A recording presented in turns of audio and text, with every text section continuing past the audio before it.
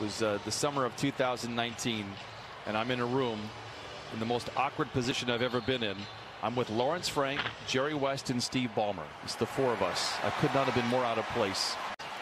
You see what I did there, Czar? Oh, Yeah, that was very nice. Reed gets in, played. Play together, see what kind of unit you have out there, what your substitution pattern's going to be. But if guys are hurt, we see the follow-up. Play together, see what kind of unit you have out there, what your substitution pattern's going to be. But if guys are hurt, we see the follow-up. It's going to be interesting to see. There's still a domino or two out there that maybe tips the scales out east. We'll see what happens, but it'll be interesting. And I'll tell you what, a healthy Philadelphia team is not going to be an easy out. Path cut off. Gives it to Kennard late in the clock. Just gets it off ahead of the horn. And that'll be the last possession for the Clippers. Gives it to Kennard late in the clock. Just gets it off ahead of the horn.